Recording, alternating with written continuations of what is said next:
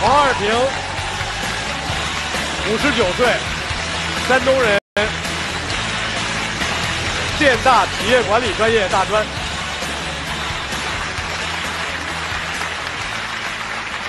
大家好，我叫王二平，来自加拿大蒙特尔，今年五十九岁。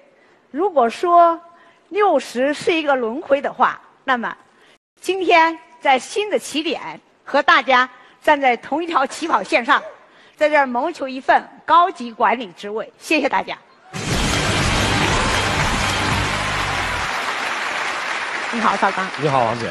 非常非常感谢您，感谢您和你的剧组的全体同仁，因为有了你们，我才能够有幸站在这儿。大姐，当你说完这番话的时候，我特别想说，谢谢领导关怀。对不起啊。没事，别那么客气。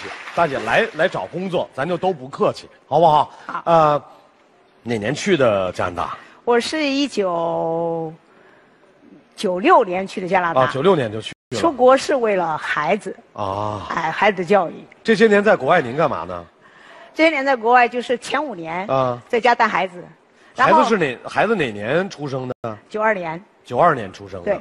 啊，那您要的够晚的哈。我三十八岁结婚，呃，三十四岁结婚，三十八岁要的孩子。啊啊啊！后来以后，因为在带孩子的过程中，感觉到为了孩子的成长，嗯比较顺畅嘛，嗯哈，嗯嗯然后就带着我的孩子离开了我的丈夫，我称之为落辣出走，呃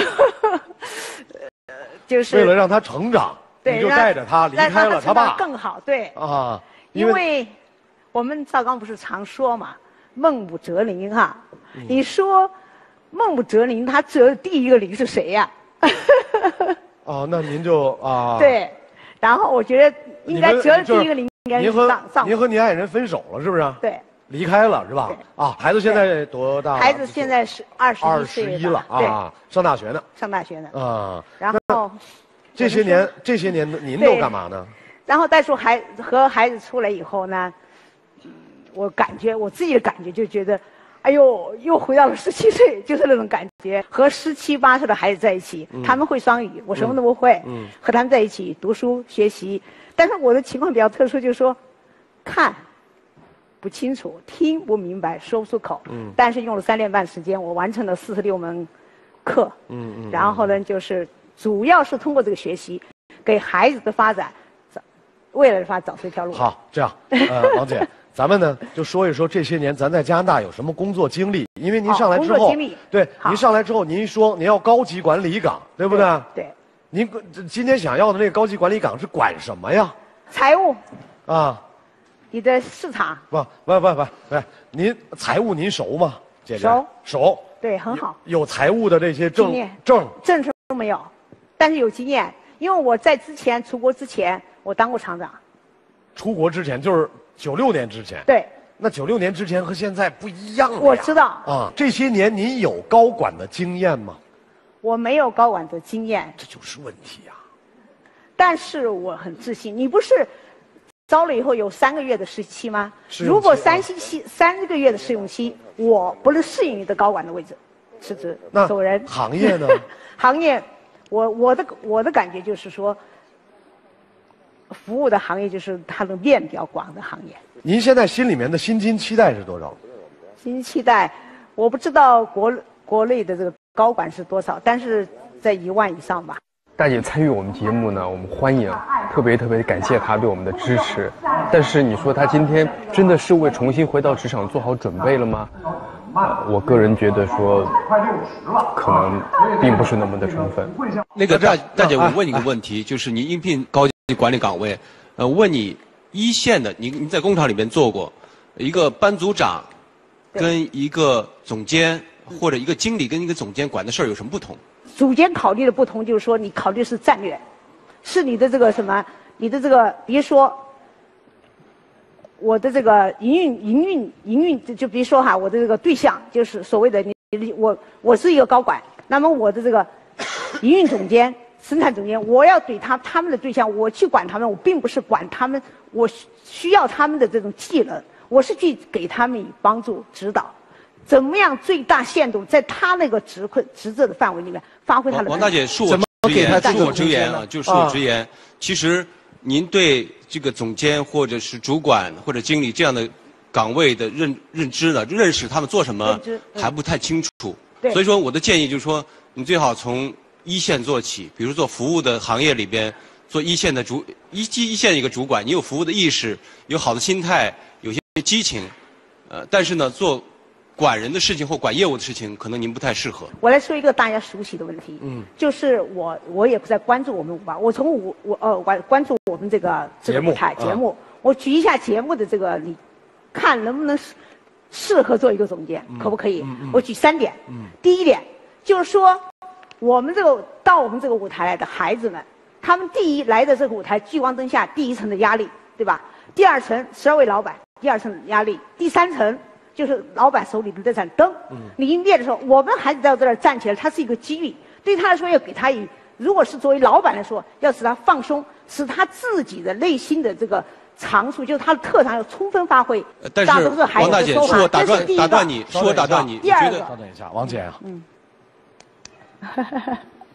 你是我，你是我大姐，是是所以呢，我得对你好。嗯嗯嗯嗯嗯，但是我不得不说，嗯，您刚才说的不是管理，啊是什么？您刚才说的是系统的，嗯，经过了思考的，嗯，观后感。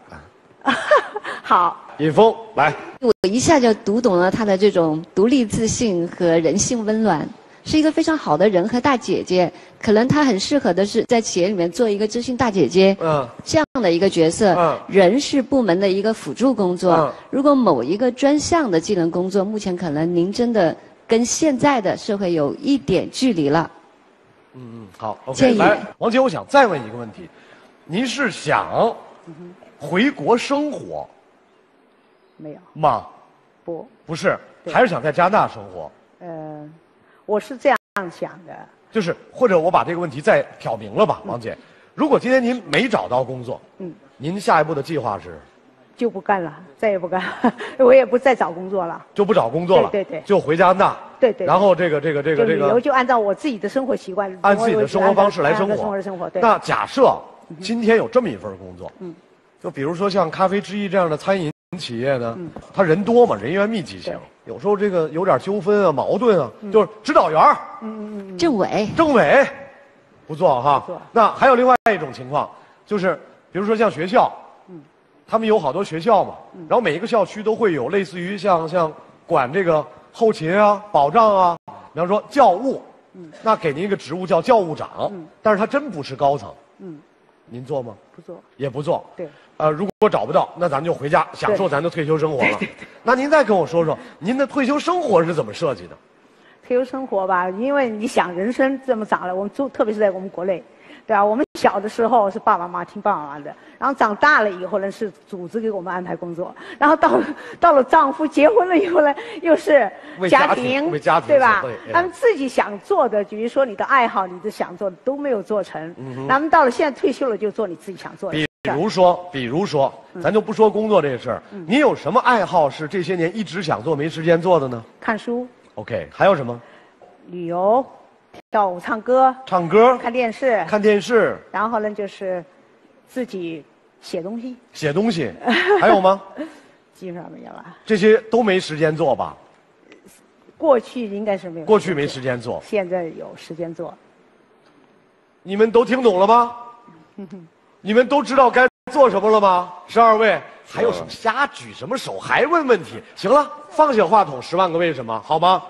咱们大家注意，王姐，我你说，你先说，我再说。我能说吗？当然你是大姐，我就是说，因为看了我们这个栏目，看了各位老板，然后呢看了孩子们，我总觉得，哎呦，想有这种冲动，想把这些问题，就是说我们企业家怎么会是这个样子？什么样子呢？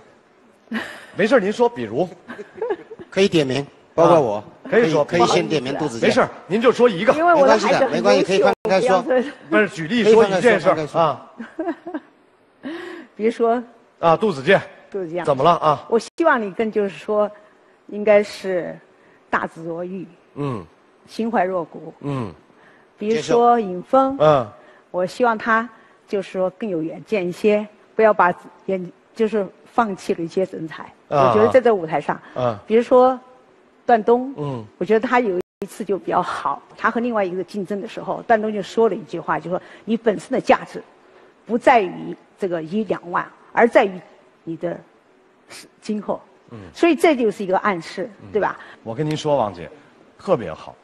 下来之后，我会让我们的导演认真的和您谈话，无论今天的结果是什么，我会让我们的导演认真和您谈话，听听您对节目的建议。嗯，因为您是一个倍儿热心一观众，倍儿理性思考，不，倍儿有逻辑，然后特别好，王姐。但是，我们仍然要把两件事儿分开，这也是我同时永远在节目里要说的事儿。是我们每个人在得工作的时候，工作是工作，对，生活是生活，对，态度是态度，对观点是观点。对现在我们讨论的是工作，十二位去或者留，选择。电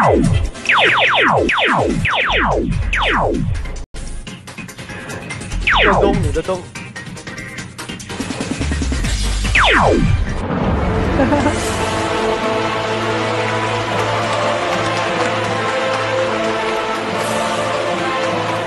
王姐，每个人都会把你当做大姐一样喜欢。我相信。您知道刚才我为什么要问您？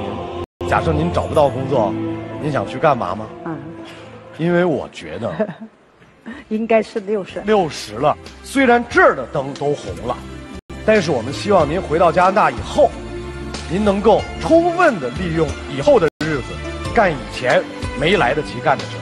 谢谢王姐，再见，王姐。No matter what they